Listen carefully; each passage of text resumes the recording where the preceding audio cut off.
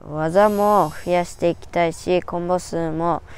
増やしていきたいし安定感も増やしていって世界チャンピオンになりたいです。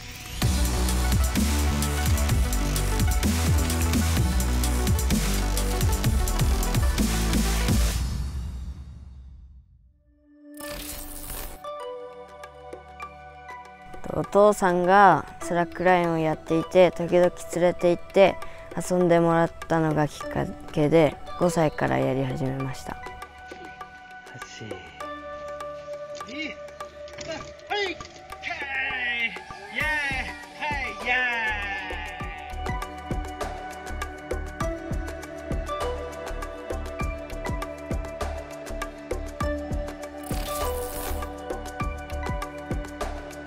他の競技とは違って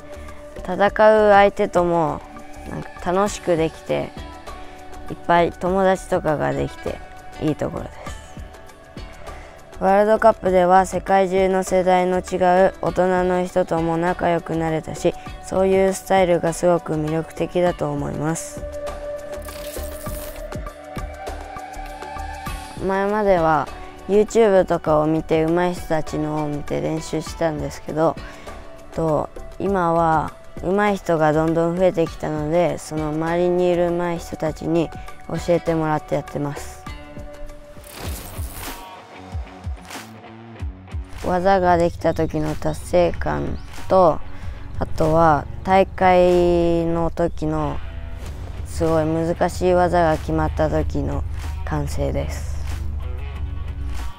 もともと対戦相手に勝つというよりはエンターテインメント性の強いスポーツなので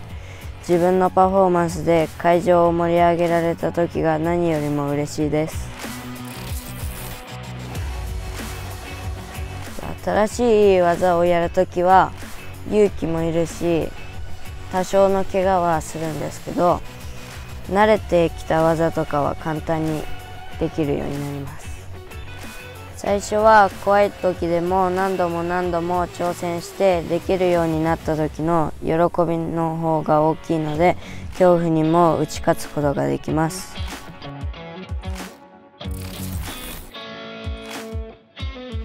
大会の前にはとモチベーションなどを上げるために音楽を聴いて気分などを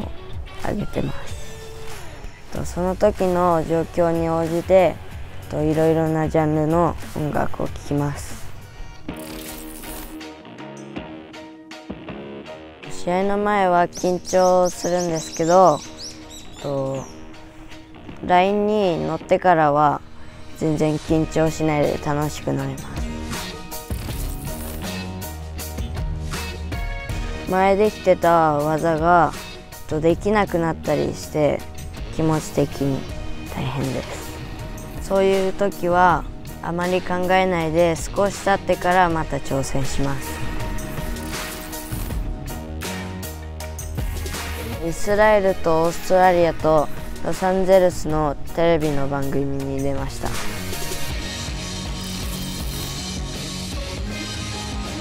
ロサンゼルスの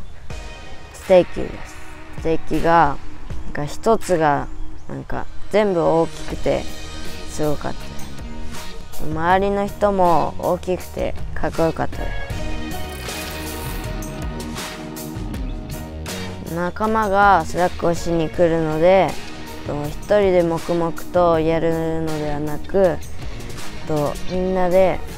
スラックをやりながら一日を過ごす感じです。平日とかは1時間ぐらいしかしないんですけど土日とかは一日中やったりすることもあります。お父さんとお母さんはえっと僕のやりかやりたいことになんかすぐ動いてくれてとても優しいです。技も増やしていきたいしコンボ数も増やしていきたいし安定感も増やしていって世界チャンピオンになりたいです。